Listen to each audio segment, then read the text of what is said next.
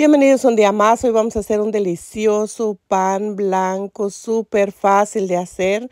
Muchas gracias por estar una vez más aquí en esta receta. Si este pan queda súper crujiente y por fuera esponjadito, por dentro es muy, muy fácil de hacer. Yo voy a estar usando esta levadura, así que en un contenedor voy a incorporar media taza de agua, una cucharadita de levadura seca. Vamos a mezclar muy bien. Una vez que esté mezclado, vamos a incorporar media tacita de harina de todo uso y ahí vamos a reservar nuestra levadura hasta que duplique su tamaño. Una vez que ya esté como esta, vamos a estar incorporando tres cucharaditas más de levadura seca. Y, ¿verdad? Yo quiero decirles que en este canal ya tengo muchas, muchas otras recetas para que si usted quiere ir a echarle un vistazo. Y también, mire aquí, le voy a estar incorporando dos tazas y media de agua tibia. Debe estar tibia, no caliente. Así que vamos a mezclar todo de nuevo.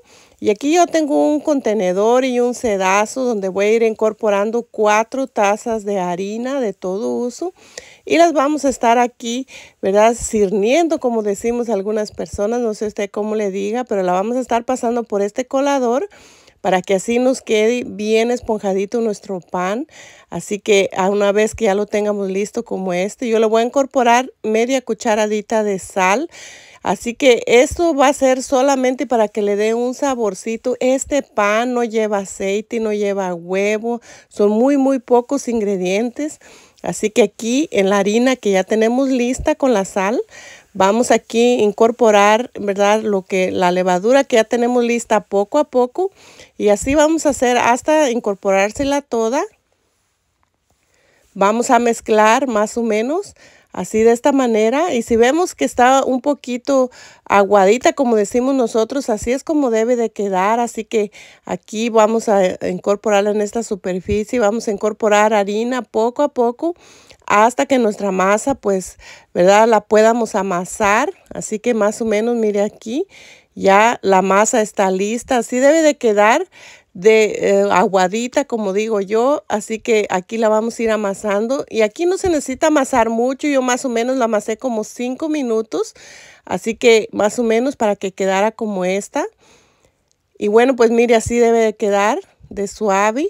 Así que aquí vamos a ir, ¿verdad? Reservándola un poquito. Y aquí yo tengo un contenedor donde le voy a incorporar un poquito de aceite, ¿verdad? Este es aceite canola de spray. Solamente es para que no se pegue la harina en el contenedor. Y ahí vamos a dejar nuestra, ¿verdad? Nuestra porción. Y aquí la voy a dejar aproximadamente una media hora. La voy a tapar con un plato o también puede ser con una servilleta. Una vez pasada la media hora, mire cómo queda el pan, ¿verdad? La masa, porque todavía no hacemos el pan. Así que voy a introducir mi mano y mire qué suavecita, qué esponjadita que está nuestra masa. Así que aquí vamos a ir haciendo un proceso poco a poco. Yo voy a reservar un poquito de esta masa porque voy a hacerle un diseño al pan.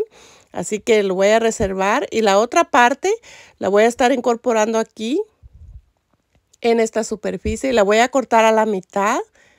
Vamos a hacer dos deliciosos panes. Así que más o menos, mire aquí vamos a ir formando de esta forma. La vamos a estirar un poquito y ahí le vamos a ir, ¿verdad? La vamos a ir haciendo estos dobleces, más o menos de esta manera. Y así vamos a hacer como lo estamos haciendo en este momento y una vez que ya lo tengamos listo lo vamos a pasar de nuevo al contenedor y ahí lo vamos a dejar reposar un poquito y vamos a hacer lo mismo con el siguiente.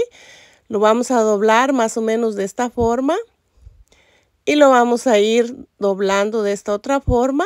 Y aquí ya tengo otro contenedor donde lo voy a ir incorporando le puse un poquito de aceite para que no se pegue y ahí los voy a dejar reposar ¿verdad? Esta bolita pues la voy a separar, así que lo voy a dejar reposar por aproximadamente otros 20 minutos. Pasados los 20 minutos, mire otra vez el pan, pues, ¿verdad? La masa ya empezó a aumentar otra vez. Así que como podemos ver está bien, bien esponjadita. Y aquí vamos a incorporar un poquito de harina en nuestro mesa o verdad o mesa de trabajo así que en esta superficie vamos a incorporar un poquito de harina y aquí solamente les vamos a ir formando de esta forma ya solamente vamos a hacer una bolita pero es muy importante sacarle el verdad todo lo que se esponjó el aire como decimos nosotros y vamos a formar una bolita y eso es para que verdad el pan no quede así como muy alzado verdad y quede con verdad eh, con una consistencia bien deliciosa. Tiene un sabor diferente cuando hacemos este paso a paso. Así que vamos a hacer lo mismo con el siguiente. Y aquí vamos a dejarlo, ¿verdad? Le vamos a ir incorporando aquí los contenedores. Aquí lo voy a dejar solamente 10 minutos. Eso es para que, eh, ¿verdad? El pan, eh, la masa agarre correa y así lo podamos extender muy bien. Así que una vez que ya esté listo, Mire, más o menos así, vamos a irlo doblando, más o menos de esta manera. Y es lo mismo, vamos a tratar de, sacarle todo el aire de que se ha estado, um, ¿verdad? Esponjando, como digo yo. Así que más o menos, mire, así lo vamos a ir formando con la ayuda de un poquito de harina. Y así vamos a incorporarnos harina en nuestras manos. Y así vamos a irlo formando más o menos de esta manera. Y así nos van a ir quedando. Y aquí pues yo tengo, ¿verdad? Un contenedor donde ya le incorporé un poquito de aceite solamente para que no se pegue. También le puede incorporar harina en vez de aceite. Así que más o menos ahí lo voy a ir dejando. Y bueno, pues vamos a hacer el siguiente, así que el siguiente, ¿verdad? Le vamos a incorporar un poquito más de harina a la superficie para que no se nos pegue, ya que el primero se trató de pegar un poquito. Así que este vamos a incorporarle más harina y solamente lo vamos a ir apachurrando y dando vuelta de esta manera, tratando de sacar todo el aire que tiene. Y así lo vamos a ir formando, lo vamos a ir incorporando harina para que nos deje trabajarlo muy bien. Y así más o menos lo vamos a ir haciendo. Ahora vamos a hacer dos tiritas, más o menos así y las vamos a ir tejiendo. Esto es solamente para darle un diseño. Recuerde que la cocina, ¿verdad? Podemos usar nuestra creación, así que, ¿verdad? Hay que ser creativos si nosotros queremos y así pues también nuestros niños pues van a ver, ¿verdad? Las cosas diferentes y bueno, les van a gustar mucho más. Así que una vez que ya lo tengamos listo, lo cortamos y se lo vamos a estar incorporando aquí a nuestro pan y aquí ya nomás lo voy a dejar que suba aproximadamente una media hora, más o menos así lo vamos a dejar.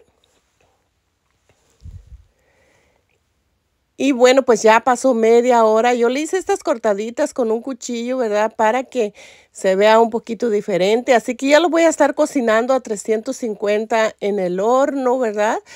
Eh, hasta que esté bien doradito, que esté bien, bien cocinadito. Y así es como ya quedó nuestro delicioso pan del día de hoy. Mire, está súper crujiente por fuera y va a ver lo suavecito que está por dentro. Y así es como nos quedó nuestro siguiente pan. Y este lo podemos comer con chocolate, con, ¿verdad? Con comida también. Así es que mire, así es como ya quedó. Y mire qué esponjadito queda de, adentro. Así que este pan tiene un sabor súper diferente, súper eh, delicioso. Así que, ¿verdad? Haga su propio panecito en casa para que así, ¿verdad? Esté un poquito mejor que el que ya compramos con bastantes eh, otros ingredientes que le incorporan para que el pan dure mucho tiempo. Así nosotros podemos hacer un pan fresquecito para nuestra familia, bien, bien eh, delicioso. Muchas gracias por estar una vez más aquí y nos vemos a la próxima receta.